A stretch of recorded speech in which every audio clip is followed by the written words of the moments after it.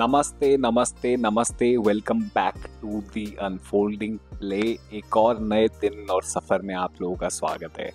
मैं और बटर आज आप लोगों को त्र्यंबकेश्वर के बारे में बताने आए हैं और ये जो ब्लॉग है स्पेशली डेडिकेटेड है त्र्यंबकेश्वर के लिए। जैसा आप लोगों को पता है कि मेरी और बटर की जो वॉक है, ये मेनली चार धाम और बारह ज्योतिर्लिंग के अराउंड है। और त्र्यंबकेश्वर जो है, वो बारह ज्योतिर्लिंग में से एक ज्योतिर्लिंग है। पर मेरे और बटर के लिए त्र्यंबकेश्वर जो है बारह में से छठे ज्योतिर्लिंग है। हमने सबसे पहले काशी विश्वनाथ किए थे, उसके बाद झारखंड में बैद्यनाथ किए थे, फिर आंध्रा में मल्लिकार्जुन, उसके बाद तमिलनाडु में रामेश्वरम, और फिर हम लोगों ने महाराष्ट्र में भीमा शंकर किए, और अभी हम लोग फ़िलहाल हैं त्र्यंबकेश्वर में। त्र्यंबकेश्वर जो है वैसे एक तहसील है, पर त्र्यंबकेश्वर जो है वो नासिक डिस्ट्रिक्ट के अंदर आते हैं। हालाँकि नासिक जो है वो त्र्यंबकेश्वर से करीब करीब 35 या 40 किलोमीटर की दूरी पे है। क्योंकि त्र्यंबकेश्वर 12 ज्योतिर्लिंगों में से एक है, इसीलिए मंदिर स्पेशली जो है महादेव को डेडिकेटेड है। पर एक चीज़ जो इस ज्योतिर्लिंग को बाकी ज्योतिर्लिंगों से अलग करता है और स्पेशल बनाता है, वो ये है कि यहाँ पे सिर्फ़ और सिर्फ़ महादेव नहीं, बल्कि त्रिदेव बैठते हैं। और यहाँ पे एक ज्योतिर्लिंग नहीं, बल्कि तीन ज्योतिर्लिंग देखने को मिलते हैं, जिसकी वजह से इस ज्योतिर्लिंग और इस जगह का नाम त्र्यंबकेश्वर पड़ता है।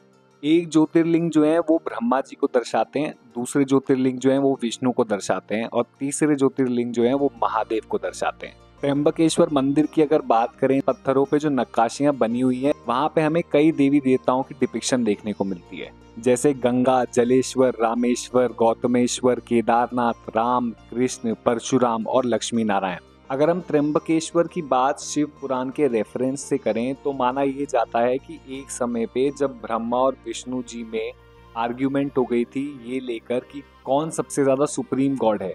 तो इसी प्रॉब्लम को सॉल्व करने के लिए महादेव ने तीनों लोगों को एक लाइट से पियर्स कर दिया था, जिसमें एक्चुअली 64 ज्योतिर्लिंग की लोकेशन आई।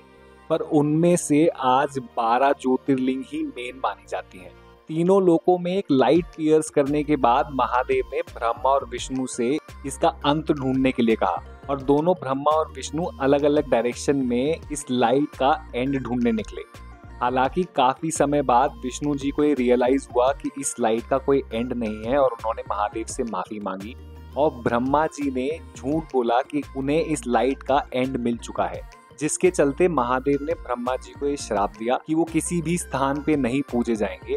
और वहीं विष्णु जी को आशीर्वाद दिया कि वो समय के अंत तक महादेव के साथ ही पूजे जाएँगे। बारह ज्योतिर्लिंग में से Trimbakeshwar is one of the most scenic and one of the most beautiful jyotirlingas.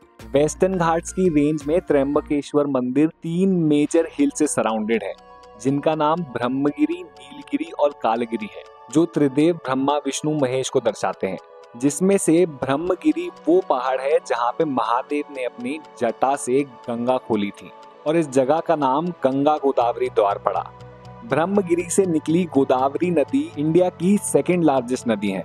Ganga Godavari द्वार के साथ साथ पहाड़ पे गुरु गोरखनाथ जी का भी स्थान है, जहाँ से त्र्यंबकेश्वर का एक मैसिव व्यू देखने को मिलता है। और स्पेशली त्र्यंबकेश्वर को मॉनसून सीज़न में एक्सपीरियंस करना एक बहुत ही मैजिकल मोमेंट है। ब्रह्मगिरी जहाँ से गोदावरी नदी निकल रही है, वो माउंटेन मॉनसून में मदर ऑफ़ वाटरफॉल्स के नाम से भी जानी जाती है, जहाँ पे हमें कम से कम 12 से 15 वाटरफॉल्स देखने को मिलते हैं। और अगर अब बात स्टे की करें त्र्यंबकेश्वर में तो यहाँ पर रूम लॉज मिलना काफ़ी आसान है और काफ़ी अफोर्डेबल प्राइजेस पे भी। मैं और बटर जो है, धर्मशाला में रुके हुए हैं, जिसका रूम रेंट जो है पाँच सौ पर डे है, पर वॉशरूम जो है वो आपको कॉमन शेयरिंग पे मिलेगा। धर्मशाला के अलावा भी आपके पास ऑप्शंस हैं। आप चाहो तो रूम ले सकते हो जो करीब 800 से लेके 1500 या 2000 तक की रेंज में पड़ते हैं। डिपेंड करता है कि कितना अच्छा वो रूम है, उसमें वाईफाई अवेलेबल है या नहीं। बट आपको मैक्सिमम टू मैक्सिमम हज़ार या 1500 की रेंज के अंदर अंदर अच्छे रूम जो है वो मिल जाएँगे। और त्र्यंबकेश्वर में पेट फ्रेंडली प्रॉपर्टीज़ ढूंढना ज़्यादा मुश्किल नहीं है बिकॉज़ यहाँ पर मोस्टली लोग जो हैं वो एक्सेप्टिंग हैं डॉग्स को लेके। But the only thing is आपका डॉग जो है वेल बिहेव्ड होना चाहिए वेल ट्रेंड होना चाहिए ताकि उन्हें कोई प्रॉब्लम ना हो और गंदगी ज़्यादा ना करे, आवाज़ ज़्यादा ना करे।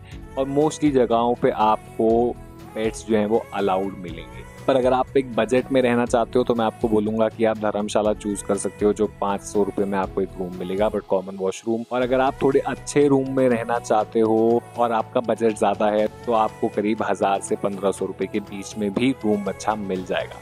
और अगर आप कोई भी पैसा खर्च नहीं करना चाहते स्टे में तो आप अपना कैंप पिच कर सकते हो। और कैंप नहीं है तो आप ऐसे भी सो सकते हो क्योंकि त्र्यंबकेश्वर में काफ़ी मठ और आश्रम है जहाँ पे आप फ्री में जाके सो सकते हो। मंदिर की टाइमिंग की अगर हम लोग बात करें तो मंदिर जो है त्र्यंबकेश्वर के वो सुबह सुबह साढ़े पाँच बजे खुल जाते हैं और शाम को करीब करीब साढ़े छः या सात बजे कपाट जो है वो बंद हो जाते हैं। अगर आप नॉर्मल दिन पे लाइन पे लगोगे तो आपको करीब दो से ढाई घंटे लग सकते हैं या तीन घंटे लग सकते हैं। पर यही अगर सैटरडे संडे या मंडे होगा तो आपको करीब करीब चार से छः घंटे लग सकते हैं। अगर आपको लाइन थोड़ी सी स्किप करनी है तो इसके लिए मंदिर समिति जो है वो दो सौ रुपये का टिकट भी देते हैं। जिसमें आप काफ़ी हद तक लाइन स्किप कर सकते हो और आपको नॉर्मल डे पे आधे से एक घंटे के अंदर अंदर दर्शन हो जाएगा।